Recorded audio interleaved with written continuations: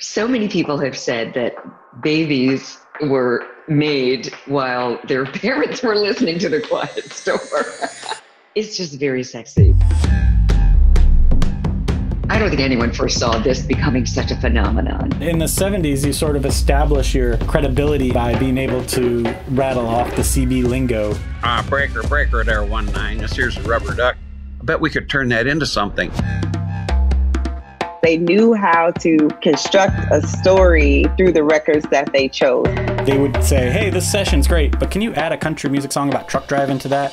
There was always like heart in it, and even sometimes grit. In the loving embrace of The Quiet Storm on 93.7. Every time I listen to it, I just bawl like a baby. It says so much, so much more than a radio show.